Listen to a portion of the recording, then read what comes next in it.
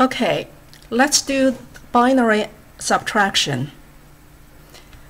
We are doing this expression here, 1, 0, 1, 0, 0, 1 minus 1, 1, 1, 1, 1. Binary subtraction is very similar to decimal subtraction. That means 1 minus 0 is a 1, 0 minus 1 is not enough. We need to go to the left column to borrow a 2.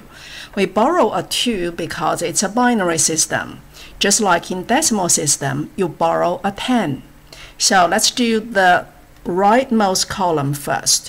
1 minus 1 is a 0. 0 minus 1 is what? Not enough. So we need to borrow a 1 from the column on the left borrow 1 from this, but it becomes 2 here, right? And here we did not borrow anything, it's a 0. So, so we borrow a 2 here, and 2 minus 0 minus 1 gives us a 1. Here, now we it becomes negative 1 minus 1. Not enough, we need to borrow a 2 from the left.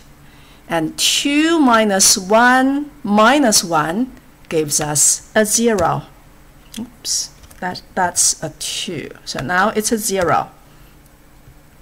1 minus 1 is a 0. 0 minus 1 not enough. We need to borrow a 2 from the left column.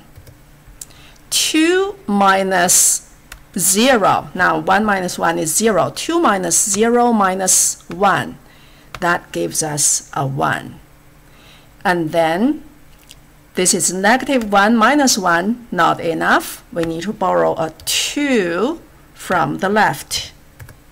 So 2 minus 1 minus 1, that gives us a 0. And 1 minus 1 gives us a 0.